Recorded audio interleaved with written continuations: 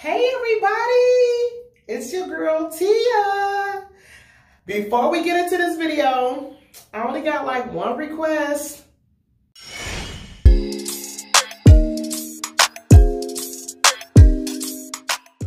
Subscribe! You gotta subscribe to this channel. I'm telling you, if you're gonna be part of the cool gang crew, I mean, it just come with the territory. I mean, you gotta like, you gotta you know, leave a comment down below. You gotta do the notification, hit that bell. You know, you gotta help us out. So, anywho, since we got that out the way, I'm not a medical physician. Let's get the disclaimer out the way. Um, an esthetician, um, a skin expert, none of that. I am just a, a city girl that had acne everywhere all over my face. Um, I looked for videos where I saw people that look like me as far as complexion, as far as acne prone skin. And I didn't know if some people had uh, videos uh, that were fake. Um, it was airbrushed. I don't know but I'm giving you my own spin, okay? So let's get right into it because I don't like to waste nobody time. Mm-hmm. So, of course, before you start your skincare routine, um, wash your hands. Okay. So, for the face wash, I like to use the Urban Skin RX. I'm a fan of the Even Tone Cleanser. I'm out of that. I mean, this baby is down to the wire. It's like pretty much Oh, the pad was there. Pretty much nothing there because that's how much I loved it. Um, and then I said, well, let me go back in. Um, I went to Target to get these. You can buy it online, but um, I like just going to my local Target to get the uh, cleansing bar. So I got this one. This is a three-in-one. It actually um, takes care of oils and blemishes and pores. So I said, let me give it a try.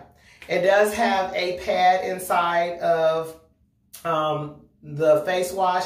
Believe it or not, I'm a person that like to use my hands. If you are a person that likes to spin brush, just make sure the spin brush is not too rough on your face because sometimes those things can be harsh. Um, also with these, make sure that you're cleaning them. But let's get into it. I run this under water like uh, three times. I give it a whoosh, whoosh, whoosh. You know, hey, hey. I put it in, I put it up under the water. All right. So I got my little whooshes there. And then I just begin to grab the soap and give myself circular motions. I'm getting it all under the eye area, pretty much the entire face. I also like hitting my neck. Plenty of times we tend to forget that area. And you just want to make sure that you're cleansing your face for at least a minute because I don't believe we cleanse our face long enough. And then for especially with us that have these hairstyles, sometimes we get acne due to the oil from our hair. So we want to make sure we're getting those corners here. Okay, so I'm I've given it a good lather.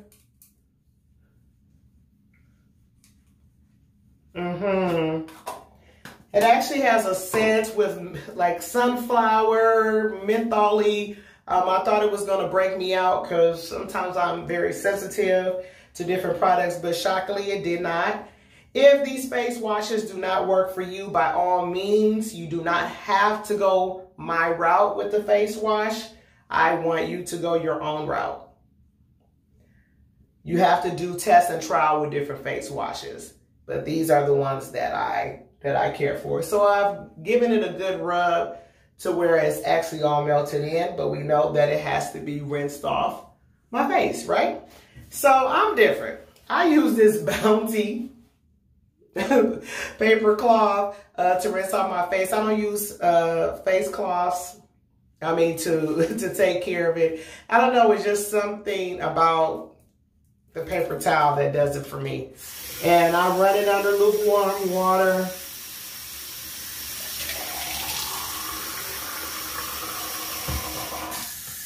I'm just turning that down some. So you see as I rub it, it is now getting that lather back again. So I guess I am washing my face for longer than a minute. All right, by this time, my face is still moist because I haven't technically dried my face. And that's what I want to prevent. Um, so I then take my cotton ball and I like to use between two different toners.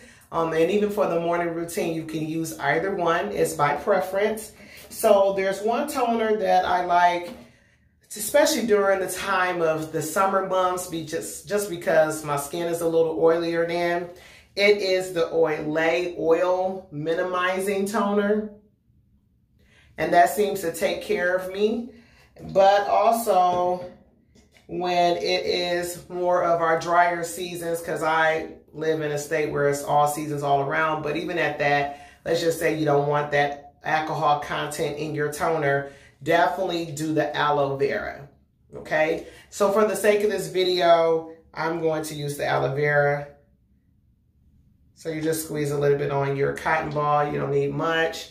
And you just want to go all over your face with that pretty much hitting all the areas that you did when you washed your face. Okay, hitting those corners, everything.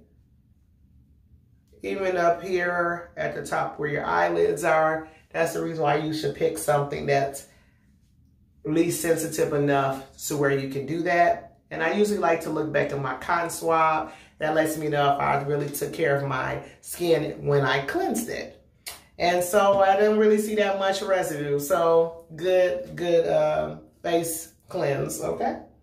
So then my next step is I have to uh, moisturize my face. So for me at night, I like to use shea butter um, just because it's very moisturizing. I don't use very much of the shea butter, but I alternate between the shea butter. Hold on between this shea butter here, I've been having the same one from an African World Festival that I went to. So I use this on one night. And then the next night I alternate and I use my Pond's. And this is for um, like a moisturizer to firm the face. Okay. So we know, of course, ladies, um, we look youthful now and we want to continue looking that way, but we want to keep that face, um, you know, firm, tight. So um, I try to use that every other night. So when I use this shea butter, I just grab a little bit, not much, because you don't want to have it too thick on your face because it's already thick enough.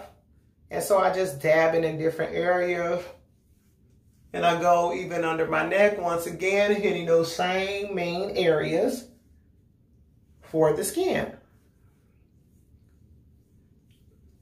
And I try to do the same thing in the process of, you know, making sure it has melted into my skin so there's no residue on my pillow.